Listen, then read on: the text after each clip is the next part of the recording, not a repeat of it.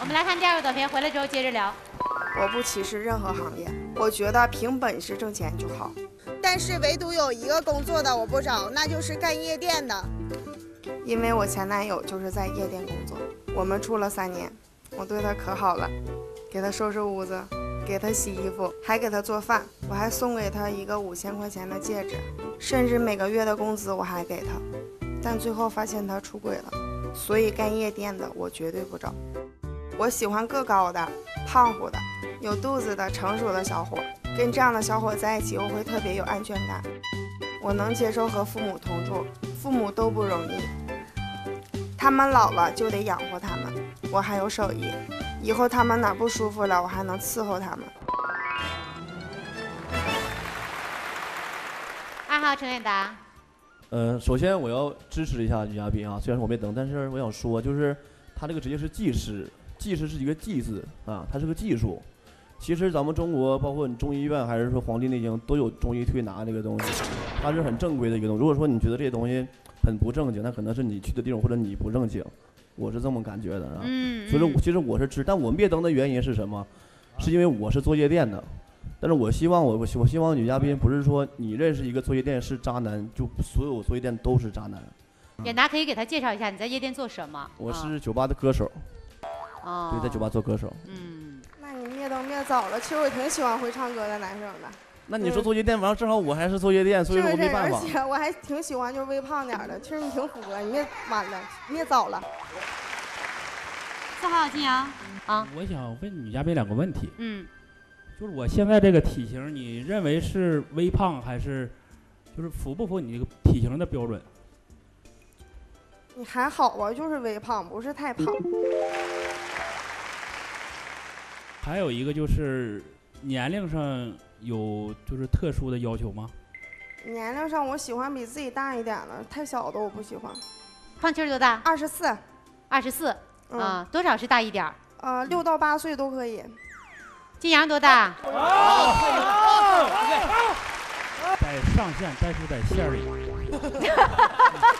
哦哦，金阳觉得胖秋儿怎么样？挺好，挺实在的。啊而且我还有就是，我想问你，对，呃，想不想自己当个老板娘之类的？当老板娘好像是每个女生的梦想吧？啊，现在是第二个短片，只有四号金阳的灯亮着啊。那我征求一下你的意见，挺好的。掌声有请四号李金阳，有请。啊！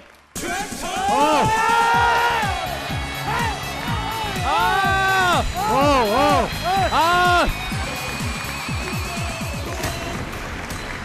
我第一次站在这儿，哦，站在这个位置，是现在什么感觉？有点懵。要不你吃口面包？一起吃，一起吃，一起吃，一起吃，一起吃一起吃，一起吃，一起吃。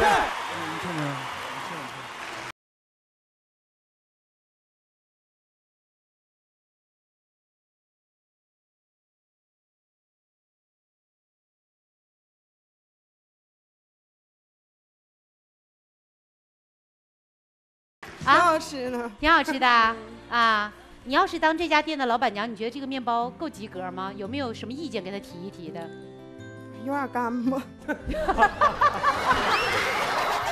我就觉得胖青儿一出场，你这个整个状态完全不一样了。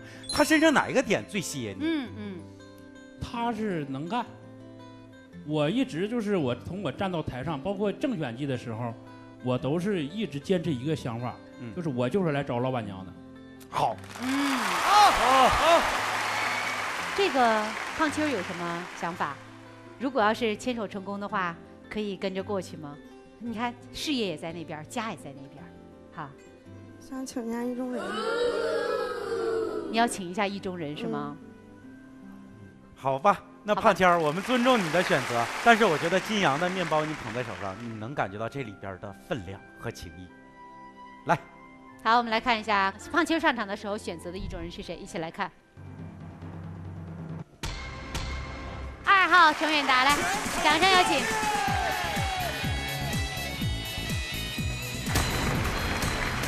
问一个你想问的问题吧。我想问一下你们对那个未来的规划吧。我还是倾向于做生意、做买卖。呃，短期之内，反正就是能把买卖做好，把家稳定好，把老人照顾好。好，好，好！我的工作唱歌呢，就是我的热爱，是我人生当中的最爱，我也不会改变。然后我会，只要我能站在舞台上唱歌，我就会一直唱下去。接下来做出你的选择吧，啊，五四三二一，走到你喜欢的男孩对面，好吗？大家一起来倒数计时，五、四、三、二、一。我选择放弃吧，燕子姐。为什么呢？